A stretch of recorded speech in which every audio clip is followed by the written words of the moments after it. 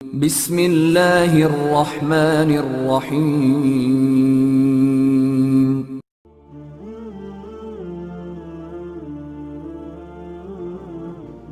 वालेकुम दोस्तों, उम्मीद करता हूँ आप सब लोग खैरियत से होंगे। दोस्तों, आज की इस वीडियो में हम जिस टॉपिक पे बात करेंगे, वो डिप्रेशन और एनजाइटी है। स्ट्रेस है, परेशानी है जहनी दबाव है। दोस्तों, ये सब चीज़ें हमारी ज़िंदगी का हिस्सा है। लेकिन हमें इनसे लड़ के निकलना है, इनको फेस करके निकलना है। दोस्तों, जैसे आप एक सेब को ग्राइंडर में डालें तो वो पूरा एक जूस निकाल देता है और गुदा साइड पे हो जाता है। अगर आप मेरी ज़िंदगी में मुझसे कहें कि मैं अपना निचोड़ निकाल दूँ, अपने नॉलेज का तो वो क्या होगा?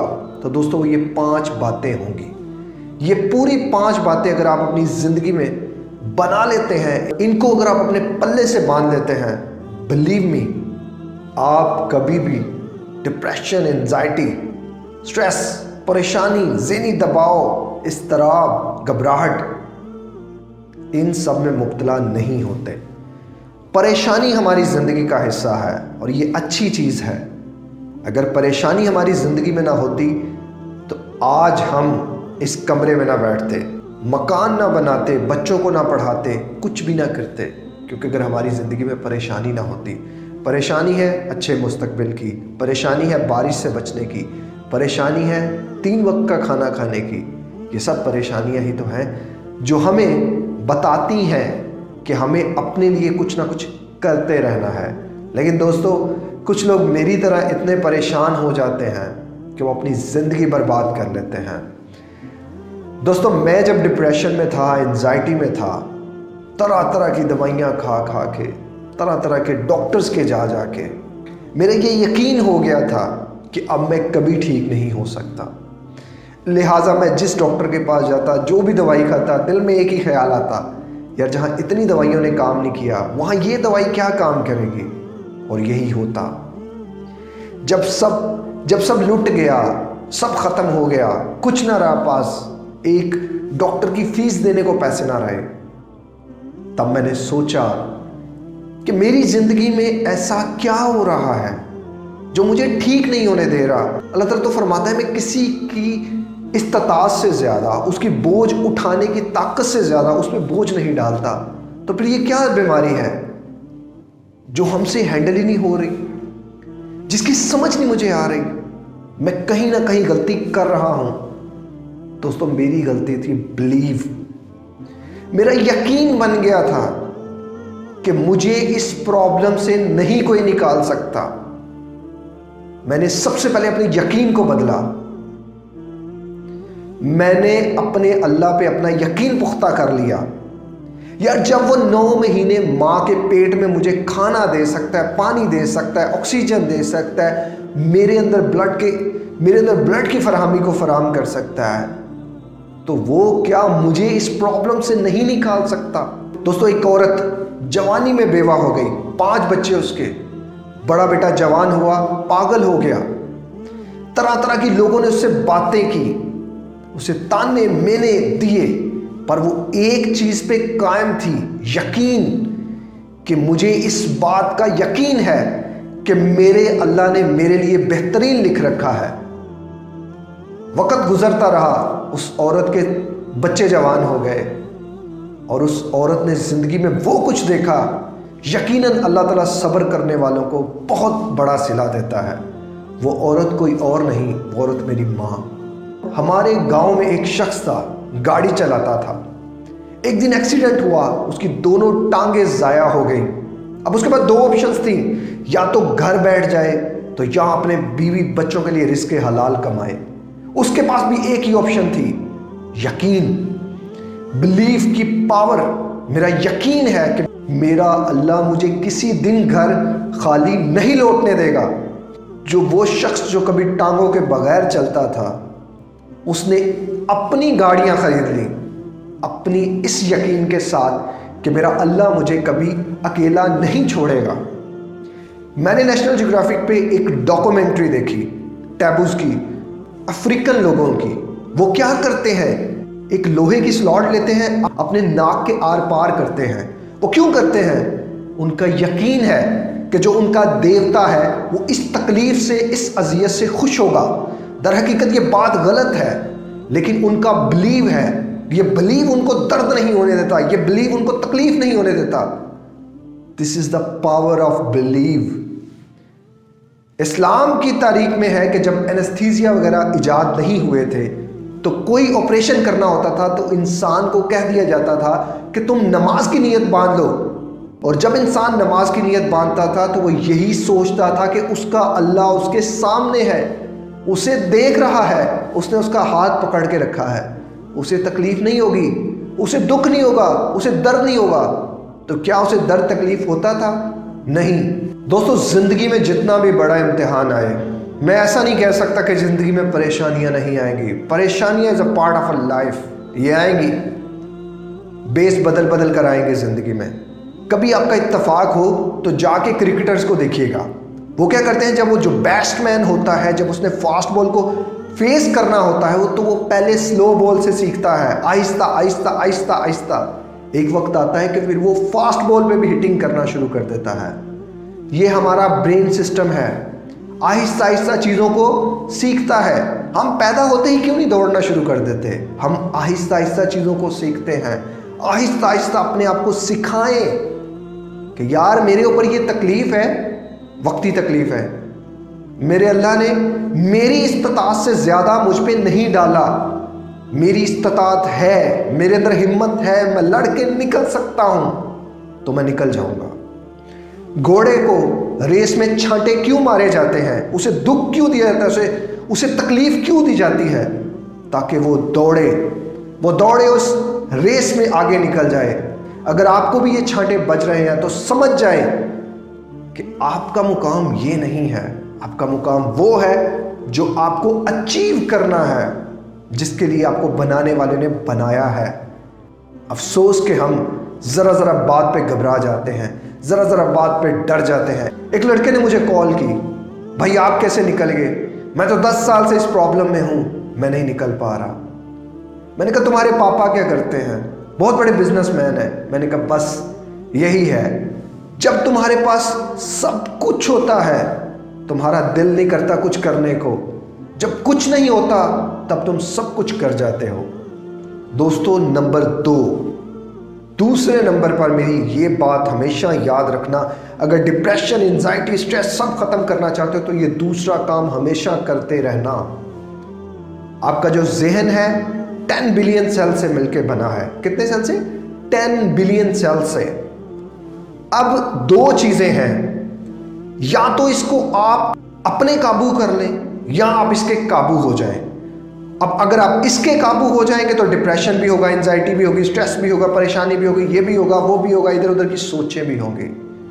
लेकिन जब आप इससे अपने काबू कर लेंगे तो आप चाँद पे चले जाएँगे। वो वो क्रिएशंस वो वो इन्वेंशंस कर देंगे जो अभी इस दुनिया में होनी बाकी हैं। लेकिन अगर आप इसके ताबिया हो जाएँगे छोटी छोटी बातों पे लड़ना, उलझना, बिला वजह के लड़ाई झगड़े घर में फसाद बर्पा करना एक दूसरे से नफरत करना। ताकतवर इंसान वो होता है जो माफ़ करता है, जो अपने जहन को अपने गुलाम करता है, ना कि अपने जहन का गुलाम हो जाता है। लोग कहते हैं, जी, हमें सोच आ जाती है। अरे अल्लाह के बंदे, सोच वो होती है जो इंसान खुद सोचता है। ये तो ख्याल होता है जो हमारे जहन में आता है। और एक दिन में एक इंसान को पैंसठ हज़ार से लेकर पचासी, एटी फाइव थाउज़ेंड थाट्स आते हैं। तो इंसान उसी थॉट में उलझता है जिसे वो सोचता है। अपने दिमाग को अपने काबू करो, ना कि इसके काबू हो जाओ। और जिस दिन तुम इसके काबू होते रहे, ये तुम्हें बर्बाद करता रहेगा। और जिस दिन तुम्हारे ये काबू हो गया, उस दिन तुम कामयाब हो जाओगे। उस दिन का इंतज़ार करो और इस पर काम करो, इसे अपने काबू करो। दोस्तों, नंबर तीन, जल्दी उठने की आदत। सुबह जल्दी उठने की आदत, रात को जल्दी सोने की आदत। इस्लाम की तारीख उठा के देखें आप। इस्लाम में रात का पिछला पहर इबादत के लिए मुख्त किया गया है। लेकिन अफसोस के हम वो कौम, वो लोग, वो इंसान हैं कि जो अपनी ही तहजीब से नीचे गिरते जा रहे हैं, अपनी सकाफत भूलते जा रहे हैं। आजकल यंग जनरेशन की सबसे बड़ी हॉबी क्या है? लेट नाइट मूवीज़ देखना ड्रामे देखना सेक्स वेबसाइट्स विज़िट करना triple triple X porn addiction masturbation ये सब हम क्या कर रहे हैं? ये सब काम हम रात लेट नाइट करते रहते हैं। लेट नाइट सोते हैं लेट नाइट जागते हैं। ह्यूमन साइकोलॉजी है। अल्लाह ताला ने इंसान और फितरत आपस में मिलते जुलते बनाए हैं। आपस में एक दूसरे के लिए बनाए हैं। ये दिन काम के लिए है, रात आराम के लिए है। अगर रात आप काम के लिए मुख्तस कर देंगे, दिन आप आराम के लिए मुख्तस कर देंगे तो आप फितरत के खिलाफ जाएँगे। और जब आप फितरत के खिलाफ जाएँगे you have to pay back तुम्हें उसको दुख, दर्द, तकलीफ़, अजियत की सूरत में उसे वापस करना होगा। एनजाइटी और डिप्रेशन की सबसे बड़ी वजह जो मैंने देखी है, वो रात की नींद है। लोग रात की नींद को सेक्रीफाइस कर रहे हैं। कोई सोच, कोई समझ नहीं, जागते रहते हैं। लेट नाइट इधर उधर की ऊँट पटांग व्हाट्सएप फेसबुक मैसेंजर्स पे चैटिंग यूट्यूब पे vulgar videos what are we doing doctors के पास जाओ, वो कभी आपको ये नहीं बताएगा कि ये आपकी आदतें ख़राब होने की वजह से हुआ है। वो सिर्फ़ ये कहेगा, ये दवाई खाओ, ये दवाई खाओ। What are the reasons behind this उन रीजंस पे काम करो। परेशानियों पे काम करने की बजाय, जिनकी वजह से परेशानियाँ आ रही हैं, उन चीज़ों पे काम करो। दुनिया का कोई इंसान तुम्हें यह लिख के नहीं दे सकता कि तुम्हारी ज़िंदगी में परेशानियाँ नहीं आएँगी। परेशानियाँ हमारी ज़िंदगी में आना अच्छी चीज़ है। हमें परेशानियों से परेशान होते हैं हम, वो बुरी चीज़ है। तो लिहाजा अपनी सोने और उठने की रूटीन पे काम करो। जब आप सोते हो, प्रॉपर नींद लेते हो तो जो आपके माइंड में negative hormones dangerous chemicals form हुए होते हैं, वो सब ख़त्म हो जाते हैं। तो अपनी नींद को प्रॉपर करो। छः घंटे तक अपनी नींद को प्रॉपर रखो। ईशा की नमाज़ के बाद फ़ौरन बाद सो जाओ और तहजद के वक्त जागो। अपने अल्लाह के आगे झुको। Then you will see the magic इनशाला नंबर चार, अपनी रूटीन अपनी खाने पीने की रूटीन पे काम करो। खाने पीने की रूटीन आपकी ठीक होना बहुत ज़्यादा ज़रूरी है। जो हम खाते हैं, जो हमारी बॉडी में जाता है, वही चीज़ बन के हमारे दिमाग में आती है। जब ये दिमाग को न्यूट्रिएंट्स पूरे नहीं मिलेंगे तो ये नेगेटिव थॉट्स इसमें ज़्यादा आएँगे। एक कमज़ोर इंसान को ज़्यादा मनफी सोचें आती हैं, ज़्यादा खुदकुशी के ख्याल आते हैं, ज़्यादा हालात से भागने के ख्याल आते हैं। एक ताकतवर इंसान को ज़्यादा फेस करने का होता है। फ़र्ज़ करें आप जिस्मानी तौर पे कमज़ोर हैं तो आप क्या किसी से लड़ लेंगे? नहीं। अगर आप जिस्मानी तौर पे ताकतवर हैं तो आप बड़े से बड़े चैलेंज से, बड़े से बड़े इंसान से भी लड़ने की हिम्मत रखते होंगे। तो आपको आपकी बॉडी को कुछ चीज़ें देना बड़ा ज़रूरी है।